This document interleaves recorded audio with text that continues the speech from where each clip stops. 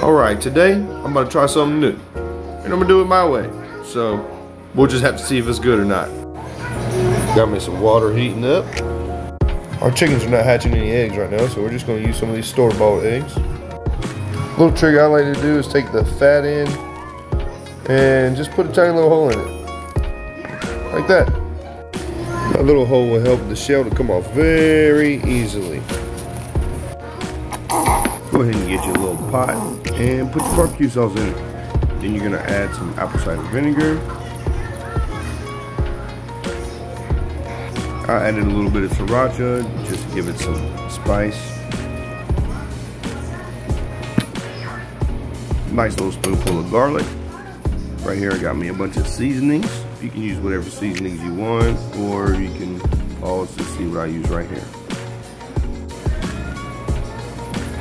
Go ahead and add that in. Abracadabra. Chop.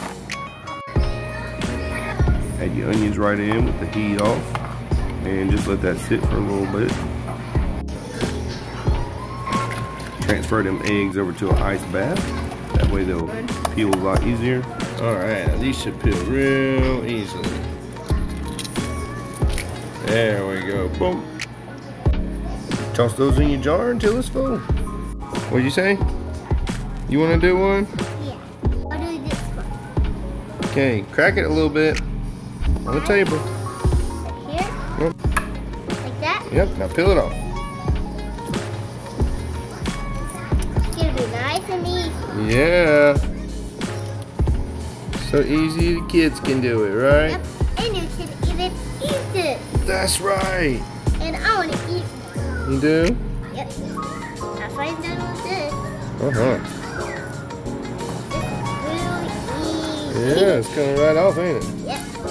Woo!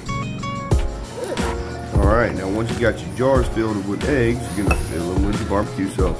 It's that simple. Now you wanna make sure it seeps all the way down to the bottom.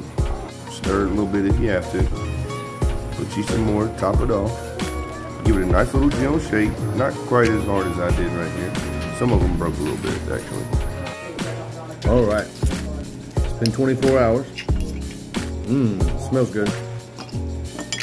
Let's see what it tastes like. Oh yeah, oh it's got some color to it.